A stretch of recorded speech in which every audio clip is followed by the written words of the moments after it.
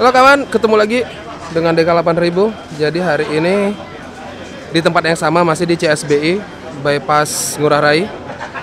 Jadi ada yang tahu nggak di motor apa? Apa ayo? Tampilan sih mirip BMW GS ya. Tapi kan kawan salah. Ini kan bukan BMW GS. Ini adalah punya dari SM. SM Sport gitu ya. Jadi dari tampilan memang saya bilang nyaris copy paste ya dari si BMW GS. Kita lihat aja ya kayak apa ya fitur-fiturnya ya. Oke, seperti biasa. Kita lihat kita lihat dari bawah dulu deh. Ban dari depan dia menggunakan tim sum, tim sum, tim sun apalah bunyinya dengan ukuran 110 per 80 ring 19 velgnya juga keren sama kayak SM03 di sana tadi ya. Cakram depan double kiri kanan. Terus ada mata kucingnya juga.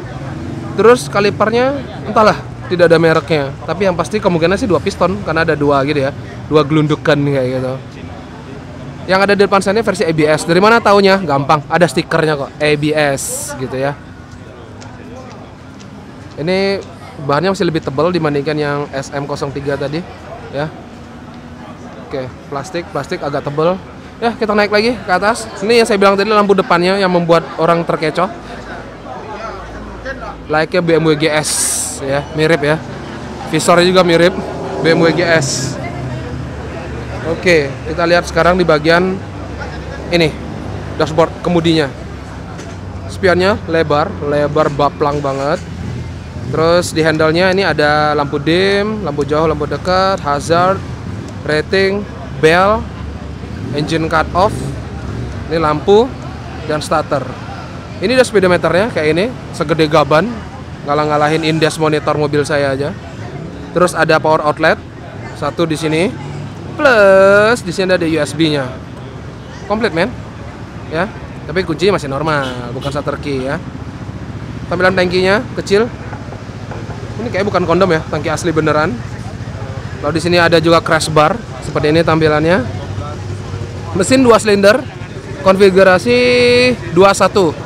Dua dari mesin, lalu bersatu di bawah, keluarnya nanti di sebelah kanan ya. Ini ada motif karbon di bodinya ini ya, karbon karbonan sih ya.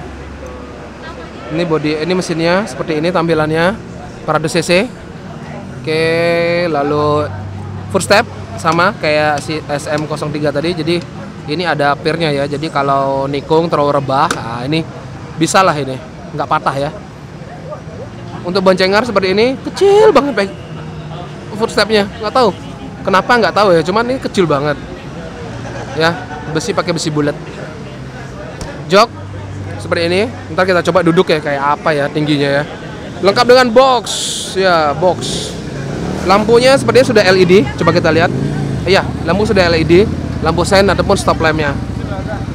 Oke ini spakbor belakang agak ringkis sih kayaknya ya tapi masih oke lah tipis banget kayaknya. Terus lengkap ditambah dengan mudguard mudguardnya baru paten men. Mudguardnya paten. Ini knalpot ada di sisi sini. Sisi kanan. Oke. Box aluminium. Ban belakang menggunakan sama tim SAM tadi 140 per 70 ring 17 jadi yang besaran yang depan ya mirip kayak motor enduro. Belakang pakai cakram wave kalipernya pakai satu piston ya. Ini dari sini kelihatan dari saya bilang di bawah dia jadi satu lalu turun ke sini naik ke sini ya. Crossbar lengkap. Nama lengkap motor ini adalah ini dia. SM400 GY-2 RX 3S panjang banget ya namanya ya.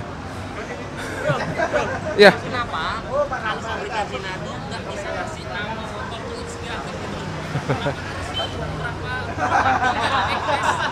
SSS nama bagus gitu loh. Model semua nih. kayak togel sip sip sip sip aduh itu dia teman vlogger tadi ya oke kita langsung kita langsung coba hidupin kayak apa kok hati-hati kok ya aku hidupin mesin kok aku hidupin mesinnya hati-hati. Ini tampilannya.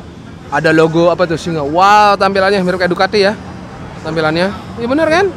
Berwarna semua LCD semua. Ada gambar motornya pula. Ada penunjuk gigi ada voltase ada suhu mesin ada apa itu? Maksimum 86 km per jam average bensin trip odometer. Wah komplit dah pokoknya. Kita coba aja dah hidupin. Eits, ini ada logo sinyal apa nih? Handphone ya Ini GPS. GPS oh udah ada GPS ini Kayak apa ya? Kayak connect. oh connect handphone oh Jadi, ke sini oh iya ya oke oke Ini ada charge. Iya, udah sih. Coba mode kita pencet apa yang terjadi? Oh, modenya sebelah sini ternyata. Di sini aja. Oke, kita hidupin aja coba ya. Dua silinder. Ya, sama sih bunyi dua silinder di mana-mana yang kayak gini ya bunyinya. Mana knalpotnya? Ini dia.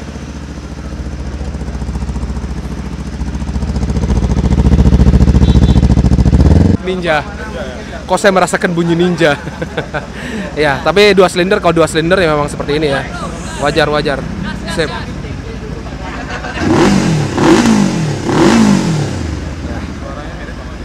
Oke, sip.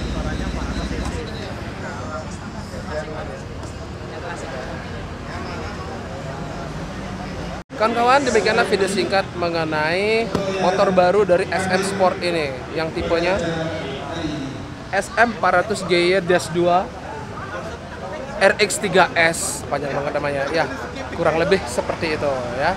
Jadi kawan-kawan yang pingin punya motor gede pingin punya BMW GS tapi dana masih budget terbatas kayak SM Sport ini bisa dijadikan pilihan kawan-kawan. Oke? Jangan lupa di like, share, komen, dan di subscribe channel saya. Kabar ribu kita ketemu lagi nanti di video-video mendatang. Terima kasih sudah menonton. Have a nice day. Bye bye